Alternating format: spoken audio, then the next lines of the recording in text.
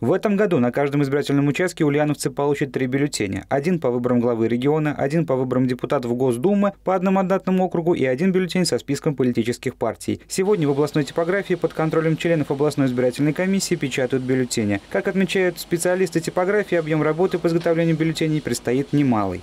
Объем работы довольно большой.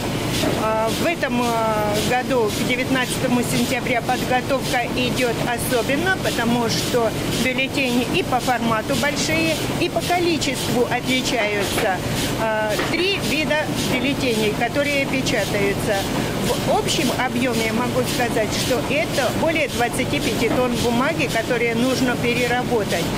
В избирательной комиссии Ульяновской области отмечают, что для предотвращения фальсификации выборов на каждый бюллетень будет нанесена защитная тангерная сетка своего цвета. Так, на бюллетенях по выборам губернатора сетка будет светло-красный, по выборам депутатов от мандатных округов зеленый, а по партийному списку голубой. Важно отметить, что для обработки бюллетеней на устройстве КАИП на каждом бланке будет нанесен защитный рисунок с обратной стороны бюллетеня. 15 сентября все бюллетени согласно списку избирателей будут доставлены в участковые избирательные комиссии. 17 сентября все жители Ульяновской области в возрасте от 18 лет могут приступить к голосованию. Максим Писарев, Даниил Сурков, Управда ТВ.